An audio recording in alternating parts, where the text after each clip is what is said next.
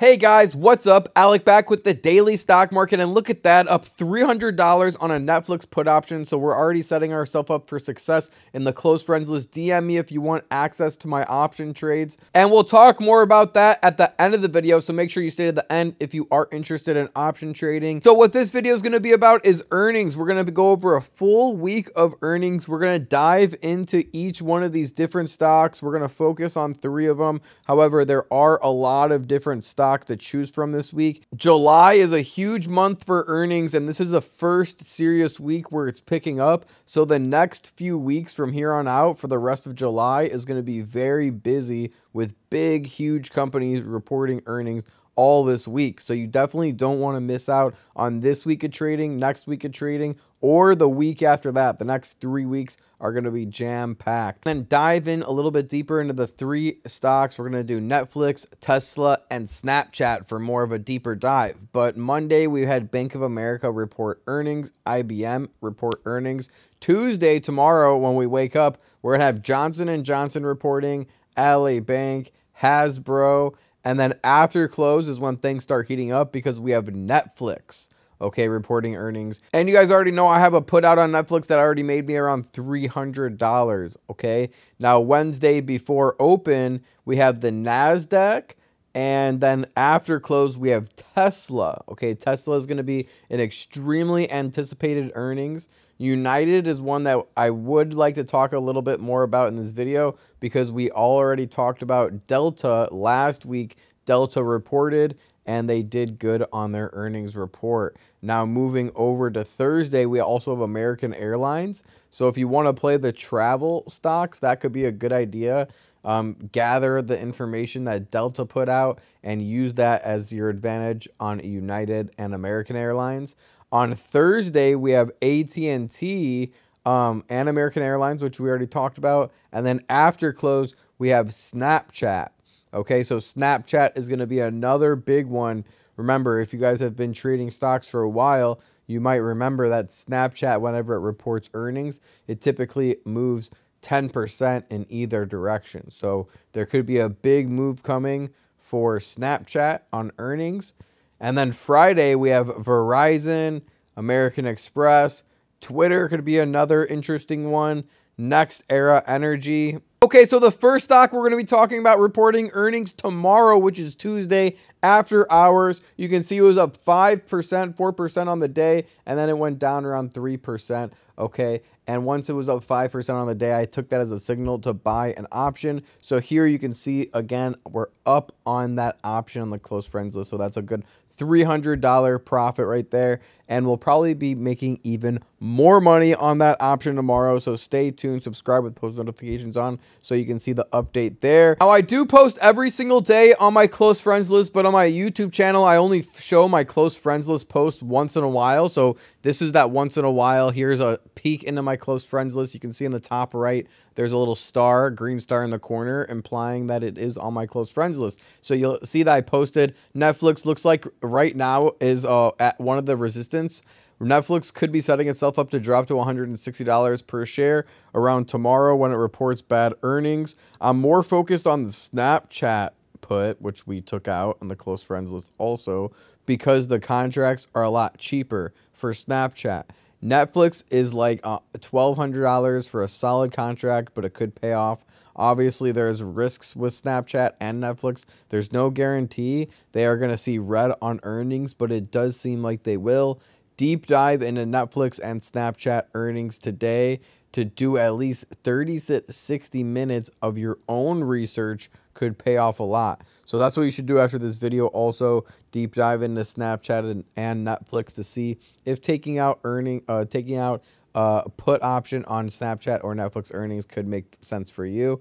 And it could also give you some more conviction in your play. We're already up $300 on the Netflix put, so you might be a little bit late. If you want these more posted in real time, turn on notifications on my close friends list. DM me on Instagram to join my close friends list. I'm going to be shutting it down soon in the next week here. So it's a great time to get on the close friends list where you can see exactly what I'm buying, what strike prices, expiration dates, and everything with notifications straight to your phone. We'll also continue to read Netflix earnings could reveal millions of lost subscribers. Now it's pivoting to ads for growth, but might lose its identity. Netflix is down in more ways than one. On Friday, struggling streamer was briefly down for some users, putting shows like The Umbrella Academy and How to Build a, a, a Room out of reach. But downtime isn't the Netflix only problem. The stock's down 70% on the year as subscriptions sag and revenue growth slows. Skip intro, probably what Netflix wishes it could do with the quarterly earnings, which it reports tomorrow. Its first quarter results are any indicator things are not going to be going well. Subpocalypse, Netflix lost 200,000 subscribers when it was expecting to add 2.5 million, which is insane. Blame post lockdown. Okay, next episode, Netflix said it expects to lose 2 million more subscribers in the second quarter, aka the one that reports tomorrow. The year it cuts 450 jobs. So it's expected to lose 2 million, but it could report like a 5 million loss tomorrow, which could be a huge downward movement in the share's price. Stranger things have happened. In 2019, Netflix CEO said its streamer would never do ads period. Now Netflix is doing ads. In April, it announced it would launch a cheaper ad tier. The goal to attract and retain subscribers. High price, subscription overload have made it harder to consume for multiple streamers like, you know, Disney Plus, Hulu, HBO, so on and so forth. Soft landing. Last week, Netflix said it was partnering with Microsoft to build out ads. Microsoft ad biz isn't as big as the rivals like Google and Comcast, but it is one of the few big techies without streaming ties. Hard pivot. This year, Netflix has hiked prices to make up for sagging growth and support its original content spend, which ballooned to 13 billion last year. Stranger Things season 4 reportedly cost 30 million per episode. The takeaway to keep your identity, you might have to lose it. To maintain its rep as the number one streamer um, famous for original content hits, Netflix must do something we thought it would never do Hulu itself with ads after its first subscriber loss in a decade, which was last quarter. And that's why it fell so much on reporting's last quarter, if you guys remember. Netflix had to choose cut between cutting down on content spending or cutting the cost of its services. Ads could be a big profit puppy, but might cost Netflix its frictionless prestige. So overall, I think we'll see Netflix closer to 160 $170 per share after reporting earnings. That's when I'm going to be cashing out this put for around a 100% gain, looking to make $1,500 on that put option and then I'll put, move that those profits maybe into buying shares. So because I profited probably fifteen hundred dollars or plan to, I'll probably take at least five hundred dollars, seven hundred and fifty dollars, and stick that into Netflix stock for long term because Netflix has sold off so much that even if it bounces back to around two hundred and fifty dollars per share, three hundred dollars per share, that's still a fifty percent increase 20 to 50% increase in the next 24 months that I think is possible for Netflix. So around $160 per share, I think is going to be a lot more of attractive of a price to buy Netflix. Right around that 165, which is by the way a 5-year low on Netflix. Netflix could bounce back and think about it yourself. I did a poll on my Instagram, and I think you would probably agree. If you had to unsubscribe to all your streaming platforms and only keep one streaming platform, which one would it be? For me, it would probably be like Netflix or HBO. And for me personally, Netflix takes the cake by far. Okay, next one up, we have reporting on Wednesday is Tesla. Okay, they're at $721 per share currently. And the question is will they be falling on earnings or will they be going up on earnings? Should I buy before earnings? Should I buy after earnings? And the first thing I like to do on Tesla has this cool thing on Robinhood where you know you can go to shareholders Q and A's, and there's actually 11 million shares represented in some of these contracts. So these are some of the biggest shareholders of Tesla. And these are some of the questions that they are at, uh, asking. Chinese electric vehicle manufacturers seem to be doing a better job than their Western competitors, excluding Tesla, at innovating its software and design. How can Tesla make sure the company is staying ahead with those manufacturers both within and without China. Okay, so that's a good one. We'll like that one. And if you want to listen to the call, I would recommend it or having someone record it for you, especially if you're interested in hearing Elon Musk. Um, I don't know if actually Elon is going to be on the panel for this earnings. I know he was last quarter. This quarter might be different, might be someone else handling handling the question and answering. Elon recently tweeted about lowering prices once inflation cools down. Can you elaborate on what you mean by cooling down and how aggressively the co- company would be lowering prices? More broadly, how do you think um, about auto pricing long term? So here we have an article and it says Tesla's earnings are impossible to predict. Watch these two points instead. No one knows what to expect or what investors will focus on. And Tesla reports its quarterly earnings on Wednesday, but the key points to watch are clear: cash flow and demand. Lockdown in China to fight COVID 19, as well as the entire Chinese auto industry in the second quarter. The output lost at Tesla's Shanghai plant which is the company's most productive factory, makes it nearly impossible to accurately project the electric vehicles makers' profits, which I think is a really good point because the shutdown in China, like it just said, hindered a lot of its production. All things considered, Tesla should probably earn less than Wall Street expects.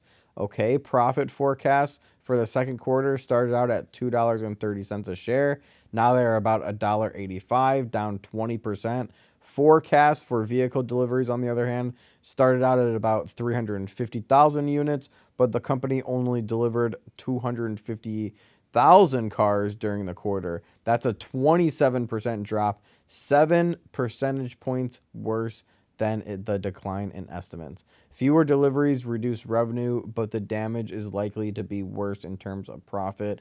At any manufacturing company, percentage losses or gains in sales are typically magnified on the bottom line. Tesla, for instance, had all its fixed costs throughout the second quarter, but it didn't have all of its production. Don't forget, Tesla has a big Bitcoin charge coming this week. The setup for the second quarter result announcements is similar to the situation described before Tesla's first quarter results came out in April. Tesla delivered fewer cars than Wall Street expected. And we won't read the full article, but if you do want to read the full article, it's definitely a good read. Just type into Google Tesla's earnings are impossible to predict. Watch these two points instead, and then look for the Barron's.com article. So, overall, the last four quarters, Tesla has beat every single time. There's a good chance they're going to beat this time. It's impossible, like the article said, because of the Shanghai factory. Tesla is also down around 40% still from highs of $1,200 per share. I think it's good to dollar cost average going in.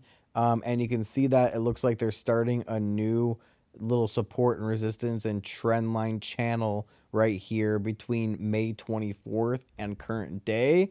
If we dive a little bit deeper, I think that, and looking for price points, I think under $600 per share is realistic for Tesla. And personally, I have price alerts even set at $575, $595 per share. I really want to get into that $500 range for Tesla to be buying shares for long term. I think Tesla has huge growth ahead of it, and I want to hold for two, three, four, five years or longer. And the last one that we'll be talking about today is Snapchat. It was up around 6% on the day and then it fell around 4%. So as you can see, we did took out an option. That's what we were talking about in the close friends list. As soon as we saw this up around 6 7%, okay, when it hit around 1450 per share. And you can see that we played this perfectly in the close friends list. Snapchat is the new one I'm looking to play puts on this week. They're almost certainly going to have a week earnings report coming in Thursday. Hopefully we'll, we'll see them green Monday or Tuesday, which we did. All right, bang. The best part about Snapchat is that there is good contracts under $200 per contract before buying the put, I would like to see them closer to the resistance of $14.30, which exactly is where it hit and which triggered our buying the close friends list. Snapchat is a risky one to play during earnings with lots of reward potential, because at this point it's almost normal for Snapchat to fly up or down double digits during earnings report. So we posted last night on the close friends list that $14.30 was the place to buy this put option and then right when it hit 14.50 it fell all the way down 4%. We're already up 13. Some people are up 20% already on that option. And that was just only one day of holding. I think it's going to continue to go down. And I think that we can see Snapchat closer to around $12 per share. And I'm looking for at least 50% gains on this option here. I'm not really looking to buy and hold Snapchat for long term. It's too much of a risky play for me. However, if we see them fall another 50% from their current prices, closer to around six or seven dollars per share, I'll be tempted to buy some Snapchat for long term. So I didn't want to drag that video on too long. Thumbs up on this video if you really appreciate it. Subscribe with post notifications on if you want to get the option plays on the close friends list. Message me on Instagram. It's not going to be available for much longer.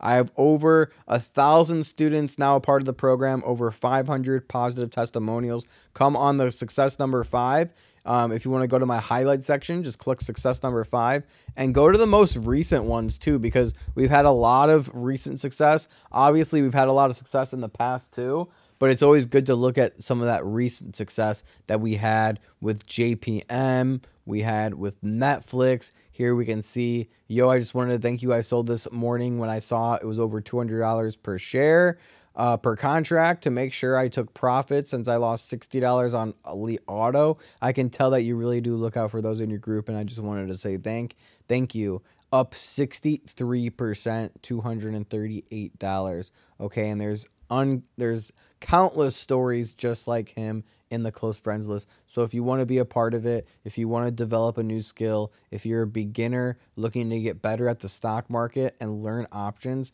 I have video programs for beginners to teach you everything step by step. And you can also follow my trades so you can buy exactly the same contracts I'm buying and you can set it up for notifications alerting you anytime I buy or sell. So you're in the loop at all times. I can even shoot you over my website so you can check everything out for yourself. And then if you like what you see, you can sign up right on the website and get everything started. All right, guys, share this video with a friend. If you want to see more content like this, subscribe with post notifications, and I'll see you guys in the next video. Remember, don't time the market, buy the market. Peace.